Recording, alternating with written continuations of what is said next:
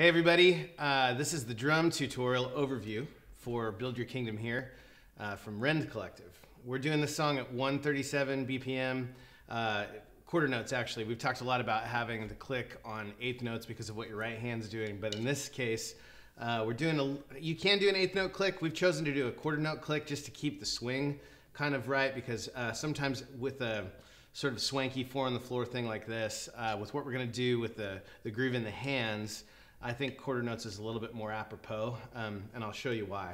Um, as the uh, as the overview goes on, you're going to see there's really only um, three parts to the song. It's super simple, but Rend Collective's uh, version of the song feels like very Mumford and Sons, very folk-driven, or almost um, kind of Americana.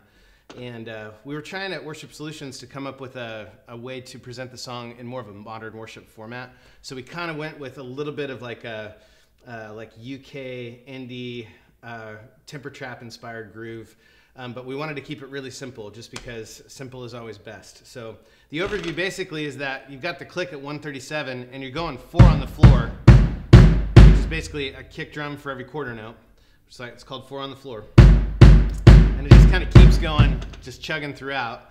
And then there's hands come in and out, uh, but the groove's kind of incorporating both hands as opposed to like a standard kind of beat like this we're gonna go with more of like a, a jungly tom groove. And it's actually got a way to say it, which will help you learn the grooves. Pretty simple. Uh, you've probably heard it on like the Jungle Book and some other Disney shows if you're old school. Check it out.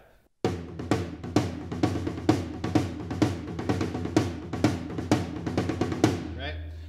One and a two and a three and a four and a one and a two and a three and a four and a. If you're gonna say it, say the melody of the drums, that's what it is. I'll slow it down for you.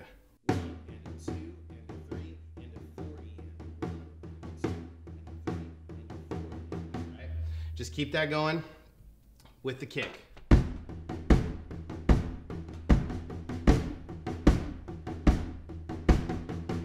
Right? Then it's got a snare backbeat in the choruses. Really, those are the three sections. There's sections with just kick, sections with tom and kick, and then sections with tom, snare, and kick with a couple of cymbals thrown in. It's, it's a really cool thing because if you ever do like special featured music in your church or anything like that, you can kind of build a small kit and put it on the front of the stage and just kind of go with this like small kit vibe for like a feature that'll feel a lot different and maybe your worship leader will let you get out from behind the cage. All right, so here we go. This is the chorus groove.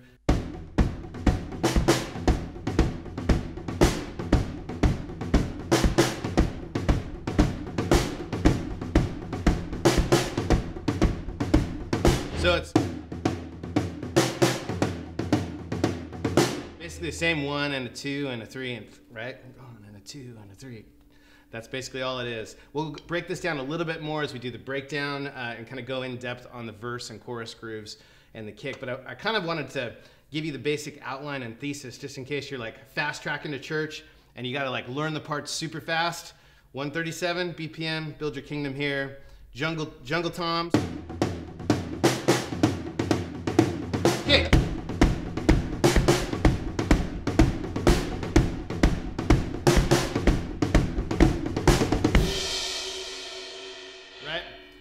Super fun song to play. I'm telling you, you get behind the kit on this thing, and it's like a locomotive starts taking off, and you just got to keep the band driving all the way to the finish line. I think you'll have a blast playing it. You can check out the more in-depth breakdowns on the song and the play along as well. Take care.